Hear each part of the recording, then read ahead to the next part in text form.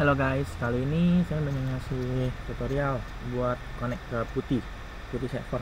Yaitu pakai maksudnya tuh server uh, CentOS gitu. Kan biasanya kan harus pakai putih. Nah kali ini saya bakal ngasih tutorialnya menggunakan putih.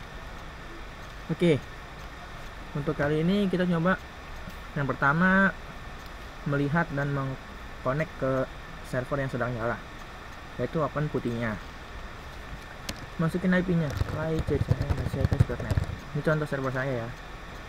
Open. Lalu klik no. Masukkan ID nya username ya root. Oke tunggu beberapa saat. Masukin passwordnya. Lalu kita ketik screen ls screen ls itu bisa dibilang screen list yaitu untuk melihat segala semua screen yang sedang ada atau sedang berjalan. Lalu kita gunakan screen X.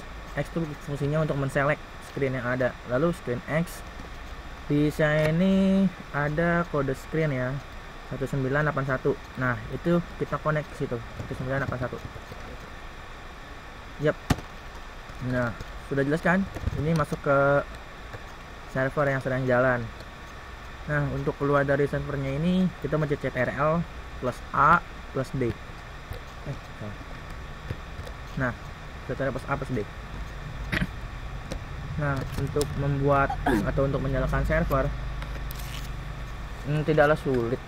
Pertama masih seperti biasa login ke putih masukin password. Lalu kita mesti screen. Screen. Cd pasti nama foldernya nama folder server. Kan kalau di sini menggunakan nama folder Minecraft jadi kita pakai folder cd Minecraft. Nah lalu kita hanya untuk uh, hanya memasukkan command untuk menyalakan servernya aja. Misalnya gini. Java xmx 3000 mb xms 3000 mb eh sebentar. Sedikit lupa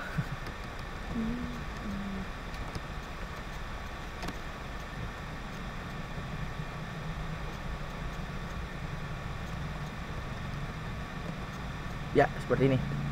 Java XMS 300M XMS 3000M jar no, bukit nogui ini script untuk menyalakan server Minecraft.